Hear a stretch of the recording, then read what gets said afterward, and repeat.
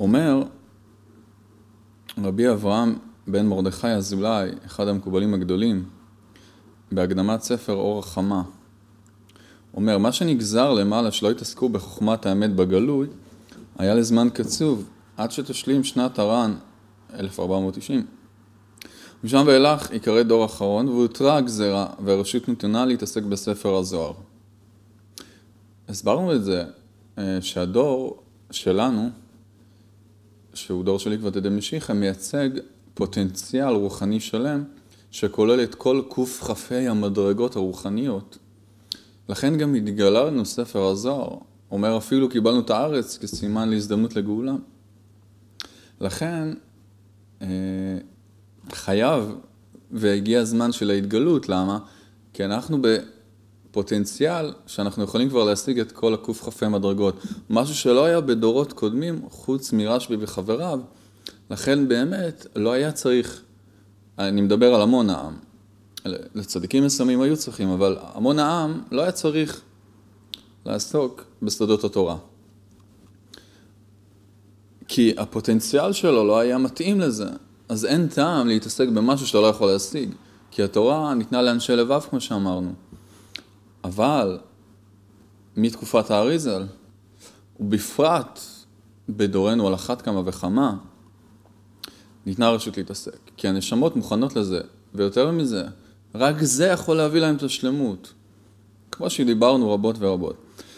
עומר, ומשנת אישין ליצירה, מצווה מן המבחר שהתעסקו ברבים, גדולים וקטנים, דהיינו גם עמי הארץ, גם גדולים, גם קטנים.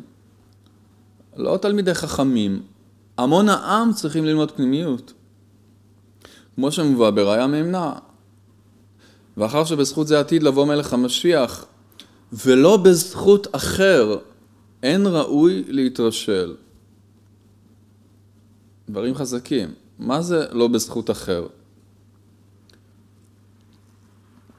ראינו את זה על אלפיים ציטוטים, בלי להגזים. אני כל שיעור מביא כמה ציטוטים הרי. ראינו המון ציטוטים. ויש המון, בזוהר, בכתובים, במקובלים, ב... לא נגמר. אפשר לשבת שעות רק לעשות שיעור על ציטוטים. אבל ראינו את הדברים שחובה, ורק בזכות זה מגיע המשיח. למה? כי משיח זה מושג רוחני. משיח זה לא רק בן אדם גשמי. משה רבנו הוא לא רק מישהו פיזי, זה הלבוש.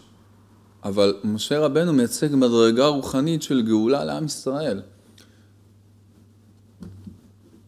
משה רבנו מייצג את האמונה, אנחנו עכשיו בפסח, החג של משה רבנו. לכן, אותו דבר המשיח. הוא מייצג את גדלות ההשגה. כולם ידעו אותי למקטנם ועד גדולם. או למגדלם ועד קטנם. לכן, אם אנחנו לא עובדים על הקטנות, על ה basic, אז מה הוא יבוא ייתן לנו גדלות? אומר הזוהר גם שיש שבועה אם תעירו ואם תעוררו את האהבה עד שתחפץ. שאין המשיח עד שמגיעים לעבודת השם ועסק התורה במצוות לשמה. כמובן, כתוב בעיטה ואחישנה, גם דרך איסורים. אומר בעל הסולם רבות בעניין.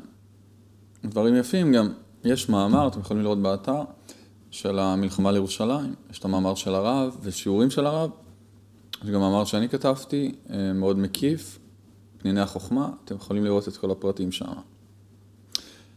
אוקיי, אז עכשיו אנחנו הזכרנו לעצמנו את מטרת הלימוד, שזה להגדיל את פנימיות, פנים מהירות מלשון פנימיות מהירה. עכשיו נוכל לחזור ללימוד.